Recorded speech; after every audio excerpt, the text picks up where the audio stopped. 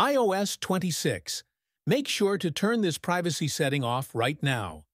First open the main Settings app, scroll down until you see a tab named Privacy and Security and tap on it. Next, go to Location Services. Here you'll see a list of your apps. You need to check carefully. If any of these apps are set to Always, you have to switch them to Never, unless it's something like Maps or GPS that you really need. Also look at the apps set to While Using. Tap them and see if Precise Location is turned on. Precise Location shows exactly where you are within a few feet. If you turn it off, apps only know your general area within about a mile. As for me, I don't want every app tracking me down to the exact spot I'm standing.